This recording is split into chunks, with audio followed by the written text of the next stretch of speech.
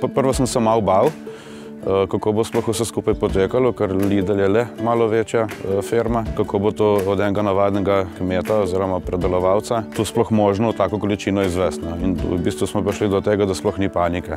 Pripravljeni so bili eh, sodelovati pri vseh vprašanjih, vse sem dobil odgovore, tako da takoj sem vedel, ja, da, da je ta lojtrca tu, tu, da je to tu. Izkušnja z lojtrce me je naučila, da imam pač večjo prodajo, lažje lahko pridem do strank, katere so zadovoljne z mojim izdelkom. Prepoznavnost se je zelo povečala, eh, sploh ko sem prišel enkrat v Ljubljano, potem še eh, druge regije po Sloveniji. Vidim tudi povratne informacije preko maila, dobivam si kakšno pošto ne. in pohvale in od znancev in prijateljev. Svetujem vam, da se prijavite na Lidlovo lojtrco, saj kdor ne riskira, ne profitira.